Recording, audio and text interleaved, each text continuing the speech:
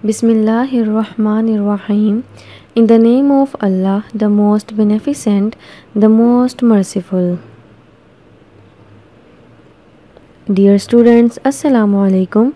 I am Ayesha Abdullah, subject specialist maths at Divisional Public School and College Sahiwal.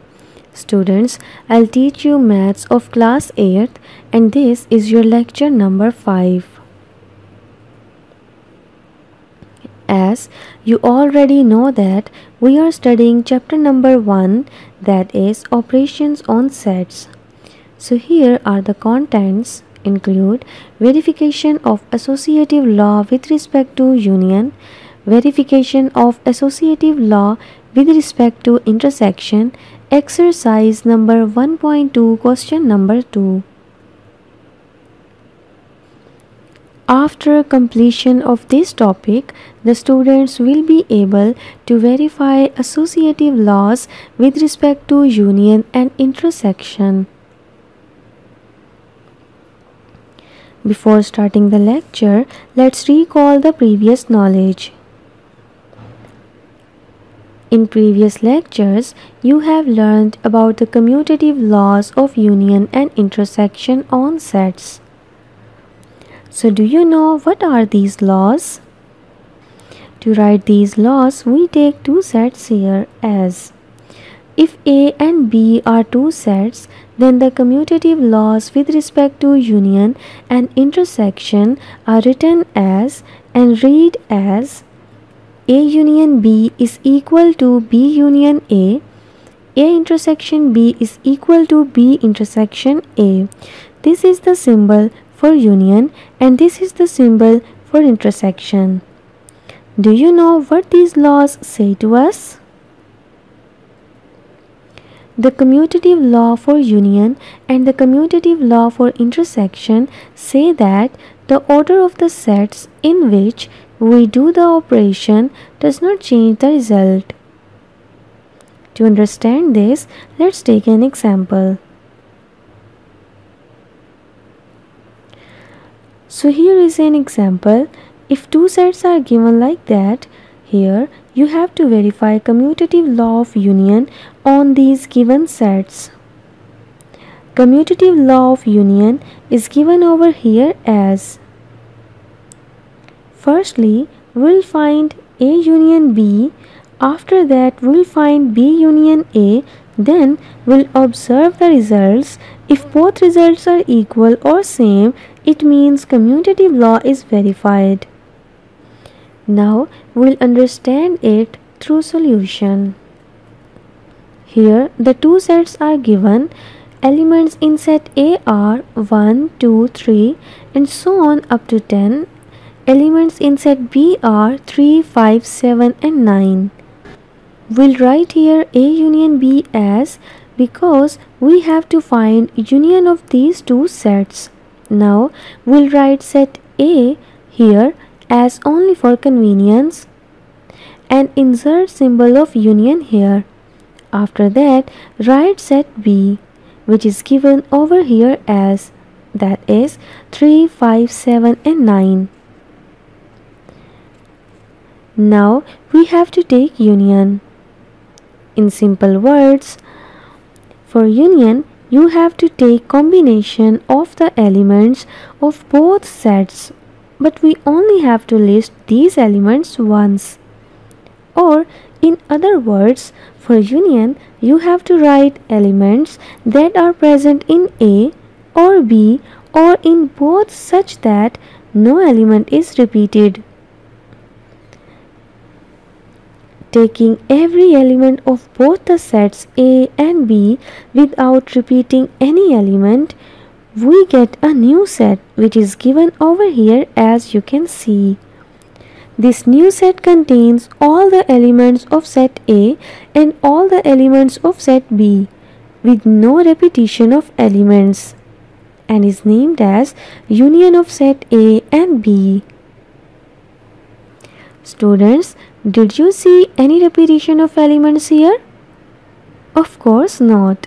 Similarly, in this way, you will find B union A as After that, we observe that A union B and B union A both have same results and from 1 and 2 we'll get the result that is A union B is equal to B union A or in other words the order of the sets in which we do the operation does not change the result means if you change the order of the set whether A union B or B union A the result will be the same that is A union B is equal to B union A. Now the topic is exercise number 1.2 question number 2.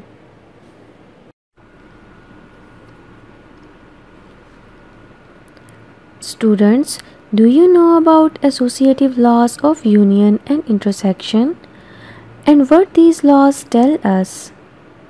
So before exercise, firstly we'll try to know about associative laws of union and intersection. If A, B and C are three sets, then the associative laws with respect to union and intersection are written respectively as First law states that the union of a set to the union of the two other sets is the same. Second law states that the intersection of a set to the intersection of the two other sets is the same. This is associative law for union and this is associative law for intersection. These laws say that how the sets are grouped does not change the result. We'll understand this further by solving some questions. Here is question number 2 of exercise 1.2. We have to verify these laws for each given sets. First part of question number 2 is given over here. Set X contains elements A, B, C and D. Set Y consists of elements B, D, C, F. Set Z consists of elements C, F, G, H. Firstly, we'll verify associative law of union for these sets. After that, we'll verify associative law of intersection by taking these sets. So in solution, we'll firstly write associative law of union. Now take left hand side which is given over here as. Now put the value of set x here in place of x that is a, b, c and d. Now insert union symbol as now be careful about this round bracket. Don't ever miss it to write. So write this round bracket as it is. We'll firstly solve the expression enclosed within this bracket. Now put the value of set y here in place of y and insert the symbol u as it is. Again put the value of set c here in place of c that is CFGH. Now we'll find union of these two sets enclosed within round brackets. And then we'll take union of this set with the resultant set. So union of these sets is B, C, D, F, G, H. We'll write it in alphabetical order. Students, as you already know that for union, taking every element of both the sets without repeating any element, we get a new set which is given over here as you can see. This new set contains all the elements with no repetition of elements. After solving this, we'll remove these round brackets. Now we'll take union of these sets means we have to take union of this set with the resultant set. So we get A, B, C, D, F, G, H. You have to write these elements in alphabetical order. Named this as 1.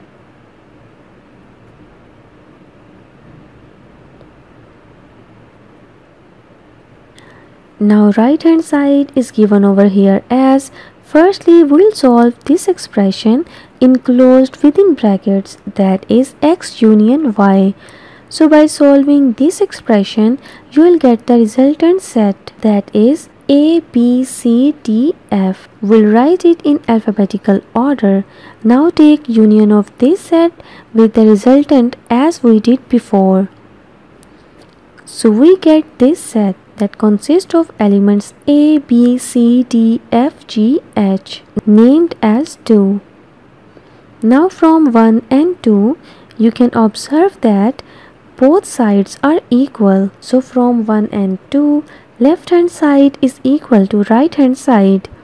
Hence associative law of union is verified. Take B part in which we have to verify associative law of intersection. Left hand side is given over here as. Now put the value of set x here in place of x and insert symbol of intersection as now write this round bracket as it is. Then put the value of set y here.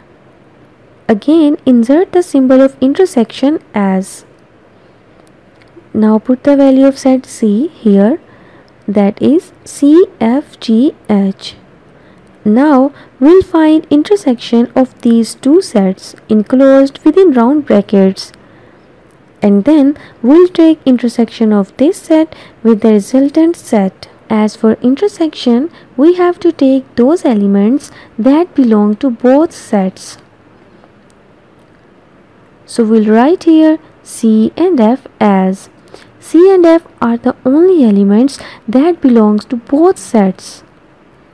Now we'll take intersection of these two sets and we'll get this set that consists of only one element that is C because C is the only element that is present in both these sets. So this is intersection of both these sets. Named it as 1. Right hand side is given over here as Firstly, we'll solve this expression enclosed within brackets that is x intersection y. So by solving this expression, we'll get the resultant set that consists of B, C and D. Now take intersection of this set with the resultant as we did before. So now we get this set consists of element C.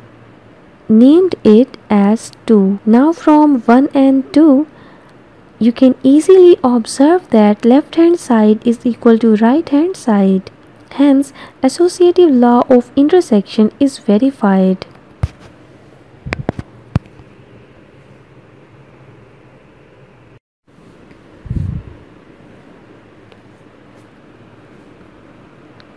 The third part which is given over here as set x contains elements minus 1, 0, 2, 4 and 5. Set y consists of elements 1, 2, 3, 4 and 7. Set z consists of elements 4, 6, 8 and 10. Now we'll verify associative law of union for these sets firstly. In solution, we'll write associative law of union as now take left hand side which is given over here as. Now again put the value of set x. After that insert union symbol as it is. Now be careful again about this round bracket. Don't ever miss it to write. So write this round bracket as it is. Now again put the value of set y. Insert union symbol as it is and again put the value of zc here in place of z that is 4, 6, 8 and 10. Now we'll find union of these two sets enclosed within round brackets and then we'll take union of this set with the resultant set. So for union you have to take combination of the elements of both sets but we only have to list these elements once. We'll get a new set that consists of elements 1, 2, 3, 4, 6, 7, 8 and 10. Now we'll take union of this set with the resultant set. So we get a set that consists of elements minus 1, 0, 1, 2, 3, 4, 5, 6, 7, 8 and 10. You have to write all these elements in a sequence. Now you can observe that there is no repetition of any element in this set and this new set contains all the elements of this set and all the elements of this set but with no repetition of element and is named as 1. Now right hand side is given over here as firstly we'll solve this expression enclosed within bracket that is x union y. So by solving this expression you'll get the resultant set. That is minus 1 0 1 2 3 4 5 and 7 now take union of this set with the resultant as we did before. So we get this set named as 2 now from 1 and 2 you can easily observe that both these sets are equal and same now from 1 and 2, left hand side is equal to right hand side. Hence, associative law of union is verified. Take B part, left hand side is given over here as. In B part, as you can see, we are going to verify associative law of intersection. For this, we'll take left hand side which is given over here as. Now put the values of the sets as and insert the symbol of intersection as it is. And be careful about this round bracket.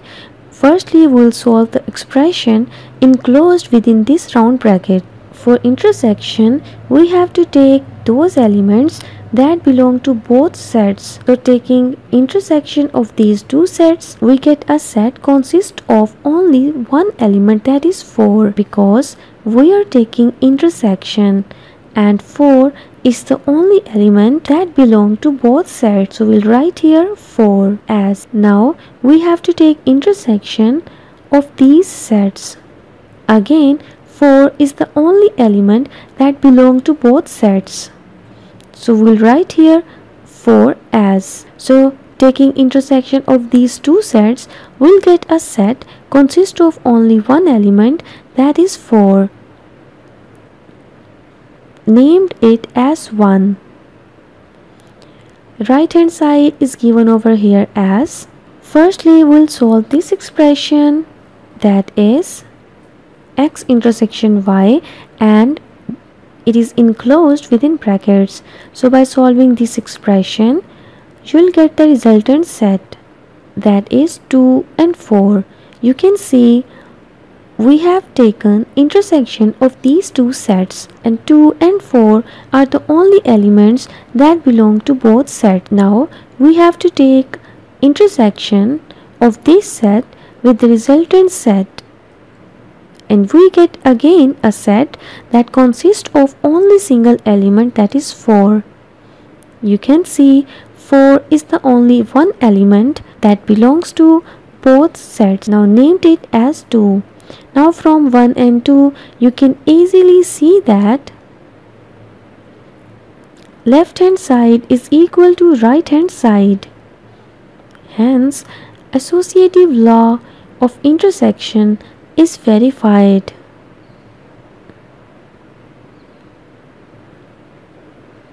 Students, here is an assignment for you. Question number 2, second and fourth part.